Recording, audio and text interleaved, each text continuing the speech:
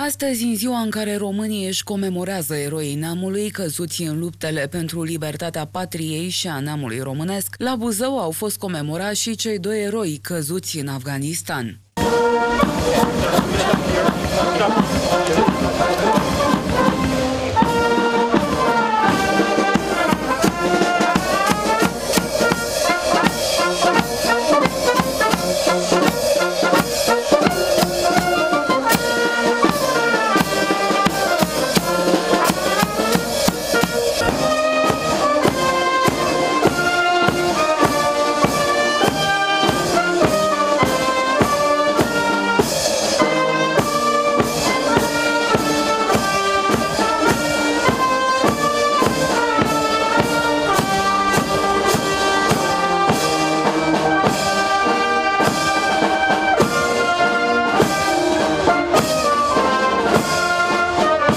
La mormintele sublocotenenților post-mortem Iulian Dumitrescu și Adrian Viziranu a sosit o delegație de militari americani, condusă de generalul major Charles Lynn Gable, locțiitorul comandantului Gărzii Naționale din Alabama. România, armata română, are un parteneriat strategic cu Statele Unite.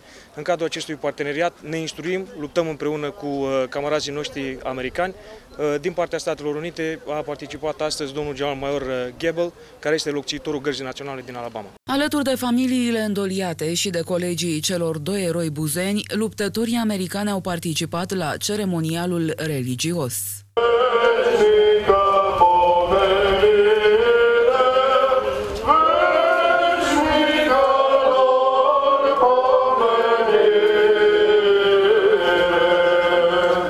Luptătorii americani au dăruit familiilor eroilor buzoieni două plachete comemorative ca semn de omagiu și recunoștință pentru jertfa colegilor lor de luptă.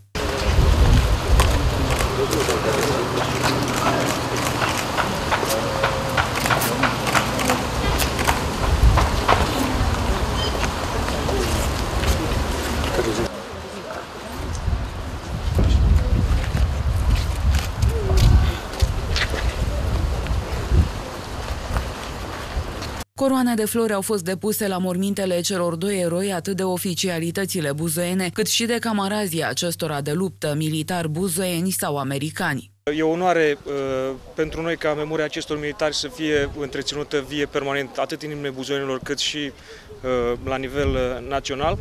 Uh, suntem siguri că întreaga urbe este alături de uh, familia celor doi militari și sperăm ca uh, cât de curând să Uh, avem parte și de evenimentul mult dorit ca două uh, străzi din municipiul Buzău să poarte numele acestor militari.